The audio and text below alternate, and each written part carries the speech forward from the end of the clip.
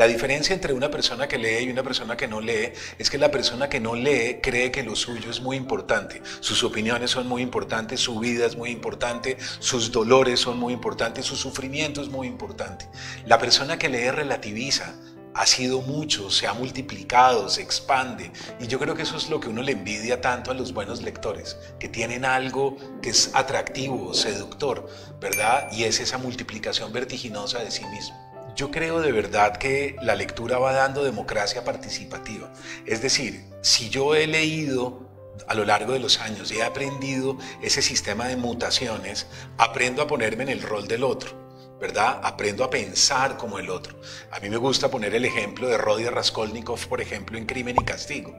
Es una bellísima novela de Dostoyevsky en la cual un estudiante universitario que tiene muchas deudas, eh, de repente decide robar a unas prestamistas, unas mujeres que, una mujer que es como una usurera, y cuando él está en el robo llegan él se siente muy nervioso y termina asesinándolas a ella y a la hermana y después empiezan a buscar ese asesino por toda la ciudad y resulta que es él y él va escuchando lo que van diciendo de ese asesino y él dice, pero no puede ser que yo sea ese individuo. Bueno, si yo tengo la posibilidad de ser Rodia Raskolnikov, si yo me puedo transformar en él, algún día voy a tener la posibilidad de entender a una persona en esas circunstancias. Uno de los grandes problemas del proceso de paz es que nosotros siempre nos quedamos en nuestra posición anquilosados, quietos. Yo pienso esto, esto es lo que yo soy, de malas, punto, ¿verdad? Yo creo que el proceso de paz se trataba de todo lo contrario, de ir al otro de intentar entender al otro, de saber qué pasa en la mentalidad del otro, cómo se fue dando nuestra violencia, cómo nos asesinamos, cómo terminamos odiándonos los unos a los otros.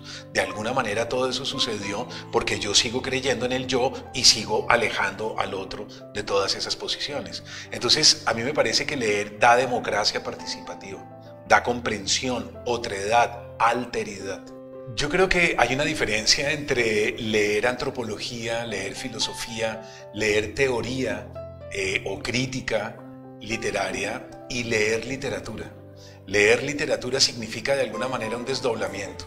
Es decir, cuando tú entras en Cien años de soledad o cuando entras en cualquiera de los grandes libros de la literatura universal, tienes la posibilidad de ingresar en un universo paralelo, en un, en un mundo que no es el tuyo, en una gente que no es la tuya, en unos modos, en unos comportamientos, en unas formas de ser que no son las tuyas.